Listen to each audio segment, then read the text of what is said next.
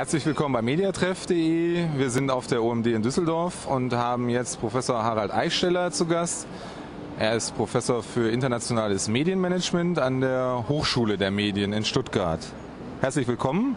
Vielen Dank. Sie haben heute ein Kongressthema Branding versus Performance. Äh, was verbirgt sich dahinter und was können wir uns darunter vorstellen? Also das Thema ist, äh, was die Branche natürlich bewegt. Also muss man im Netz, wenn man Werbung erfolgreich schalten will, tatsächlich immer klicken? Das heißt also performanceorientiert mit den ganzen Abrechnungsmodellen, die dahinter stehen. Oder gibt es auch die Möglichkeit, Branding-Strategien erfolgreich im Netz zu verlängern? Natürlich idealerweise crossmedial. Ähm, das Interessante, also ich werde mit Christoph Schuh, Vorstand bei Tomorrow Focus, äh, heute Nachmittag darüber diskutieren. Und ähm, das Interessante ist, und das, das stellen wir aber schon, schon vor der Internet-Ära fest, dass man mit zwei verschiedenen Leuten und Abteilungen spricht. Also das eine sind die Marketing-Leute, das andere sind die Vertriebsleute. Die sind im Normalfall völlig unterschiedlich, getrennte Budgets, unterschiedliche Leute, sprechen manchmal nicht miteinander. Äh, und das zieht sich natürlich durch. Also wir haben jetzt das gleiche Thema, was im Marketing-Mix seit Jahren herrscht, jetzt auch im Online. Ich möchte nicht zu viel verraten, aber äh, ich glaube, zurzeit verkauft sich Performance besser.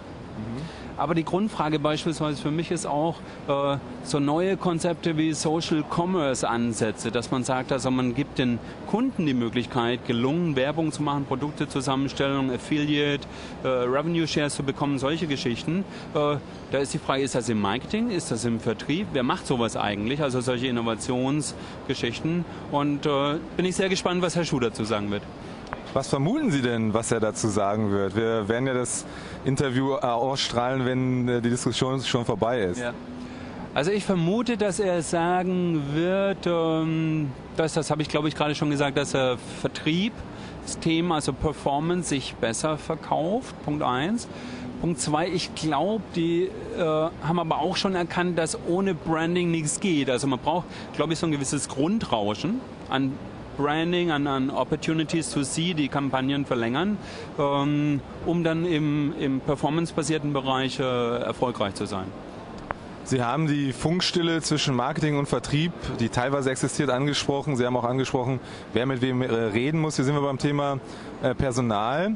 Äh, Personal ist sicherlich auch hier bei äh, der Messe ein Thema, äh, sicherlich auch für den einen oder anderen Gelegenheit, einen neuen Job zu finden oder sich auch vielleicht zu verbessern. Was müssen denn junge Leute mitbringen, die in der digitalen Wirtschaft einen Beruf finden wollen? Also wir an der Hochschule der Medien in Stuttgart äh, sind seit zehn Jahren dabei. Wir haben vor zehn Jahren den Studiengang Medienwirtschaft als, interessanterweise als äh, Wirtschaftsingenieursstudiengang aufgesetzt. Jetzt mit dem Bachelor und Master hat sich natürlich alles irgendwo ein bisschen verändert. Aber in dieser Tradition, das ist uns ganz wichtig, dass also die technische Kompetenz da ist, äh, dass die Leute, also was im Studium dann tröge ist, Mathe, Informatik, äh, technische Physik und solche Sachen, ne? die, die muss man auch drauf haben, um zu verstehen, was eigentlich abgeht. Und dann eben die wirtschaftliche Kompetenz dazu, die Konzepte, die äh, crossmedialen Marketingkonzepte, äh, also die kreative Komponente genauso wie die strategisch-betriebswirtschaftliche, wie aber die technische Basis. Ich glaube, dieser, dieser Mix, also dieser Dreiklang muss da sein, damit das Ganze erfolgreich wird. Jetzt haben wir hier auf der Messe Firmen und damit auch Berufsfelder, die gab es vor drei, vier, fünf Jahren noch gar nicht, äh, sind aber trotzdem schon recht erfolgreich. Wie ist es als Hochschule möglich, auch sich diesem ständigen Wandel äh, auch in den Curricula anzupassen? Also Punkt eins, die, die Umstellung auf die Bachelor und Master äh, war eigentlich der ideale Rückenwind. Wir mussten alle umstellen. Das heißt also, wir haben jetzt äh, beispielsweise an der Hochschule der Medien in Stuttgart äh, ein neues Masterprogramm aufgestellt.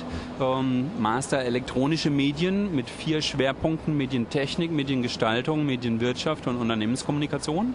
Und äh, hier vertiefen wir auf der einen Seite und bieten aber auch die Möglichkeit, interdisziplinär zusammenzuarbeiten. Diesen Studiengang gibt es jetzt erst seit einem Jahr. Wir fangen jetzt im Oktober mit dem dritten Jahrgang an.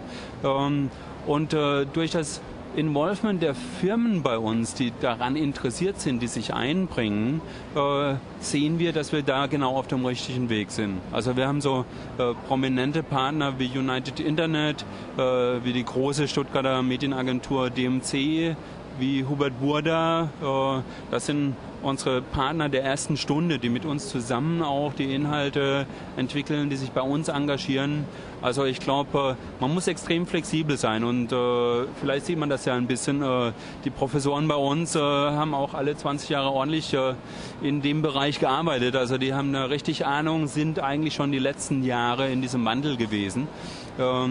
Und sind flexibel und haben extrem Spaß. Also die jungen Leute, muss man sagen, sind auch äh, extrem motiviert. Wir haben in den Bachelorstudiengängen zum Teil 800.000 Bewerber für 50 Plätze.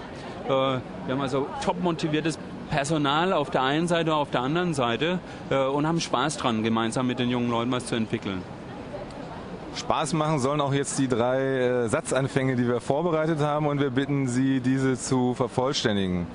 Nummer eins, digitales Marketing wird in Zukunft fester Bestandteil aller Mediapläne sein. Mein Highlight auf der OMD war ja, bisher äh, der riesige Andrang, weil ich bin gerade erst gekommen. Äh, eine Wahnsinnsschlange draußen und äh, ich glaube, die Szene trifft sich hier, das sieht man.